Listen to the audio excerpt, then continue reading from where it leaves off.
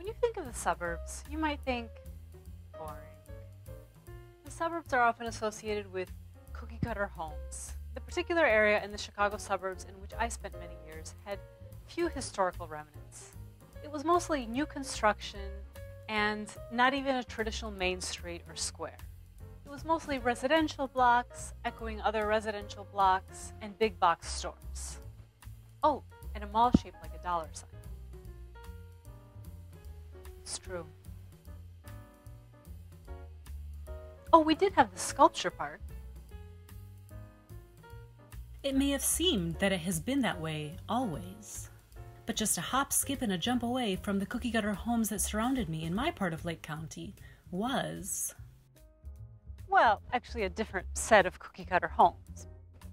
But they were in a place where residents and their families had served in or had been a part of the Spanish American and Philippine American Wars around 1900, World Wars I and II, the Korean and Vietnamese Wars, as well as Desert Shield and Desert Storm in the 1990s. Early in the Cold War, Fort Sheridan had supplied Nike anti aircraft systems that were being marketed across the globe. But much earlier, and much closer to the home front, residents here had been involved in the reason for the Fort Sheridan district's existence in the first place the labor strikes in Chicago in the late 1800s that resonated throughout and were covered across the United States. Fort Sheridan was a U.S. military post for over a century, from 1887 to 1993. But how did Fort Sheridan even come to be here, in the middle of the Midwest, in the Chicago suburbs, in the first place? Let's go back to those labor strikes. By the 1870s, Chicago's population had grown to 300,000, it was the fifth largest city in the U.S., or the fourth from today's point of view, as until 1899, New York and Brooklyn were separate cities. But in 1871, the Great Chicago Fire left tens of thousands of people homeless.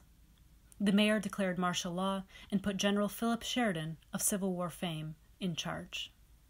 While Sheridan did help restore order, unrest would continue, including major strikes such as the Great Railway Strike of 1877 and the Haymarket Riot of 1886. Members of the Commercial Club, a group of prominent businessmen landowners, including Marshall Field, who founded the department store chain, and George Pullman, who monopolized the luxury sleeping car industry, were worried about what was going on in Chicago and wanted to protect their interests as well as the city. So they purchased over 600 acres of lakefront land near Highwood, Illinois, and donated it to the government with the understanding that it would be dedicated to a military post, originally named Camp Highwood. By the way, it's no coincidence that Pullman was a part of this club and that he wanted the Army to be here. In the Pullman strike of 1894, employees would be rebelling against his policies. Don't worry. These forested Highwood ravines within the bluffs of Lake Michigan made this area a secure location for an Army post. Landscape designer O.C. Simonds fit most of the base's center within the borders of these two largest ravines, with four loops of buildings following the curves of some of the smaller ravines. Brigadier General Holabird hired an architecture firm that happened to share his name, the fledgling Holabird and Roche, his son's firm. Holabird and Roche would later be known for some of the first skyscrapers, an architectural innovation in which Chicago and the firm played a key role. A tall stride in that direction, though, was their commission to design the first 66 buildings of Fort Sheridan. They created a visually cohesive base, showing an affinity for the Richardsonian Romanesque style, with their use of arched, recessed windows and doorways. They used brick made of yellow clay found in the local bluffs. Your rank in the Army was, among other things, reflected in the architecture of your sleeping quarters. Infantry soldiers lived in their hundreds in the main barracks, and for higher ranking officers, within the and Roche design buildings, you got to have a single family home. If you were a lieutenant, you got a single third floor window, while if you were a captain, you got a double, and a larger version of that home. But if you were the post commander, then you and your family got to have a Queen Anne style home with turrets and fancy trim. Fort Sheridan was designated a National Historic Landmark in 1984, both because of the military history that had taken place there and because of its architectural qualities. In large part, Fort Sheridan was decommissioned in 1993 though about 90 acres has been retained by the Army.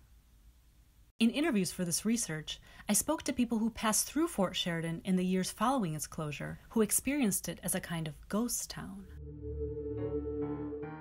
The rest was sold to developers in the 90s, after which sectors began being converted into a residential area, and what had been military quarters became civilian living spaces. Most buildings' masonry exteriors were preserved, while being completely refurbished from the inside to fit modern needs. Besides living in a former commander's residence or the former stables, for example, you could live in a condo in the former infantry drill hall. Could live in the former bakery, in a former fire station. You could live in the former armory, the former cannon garage.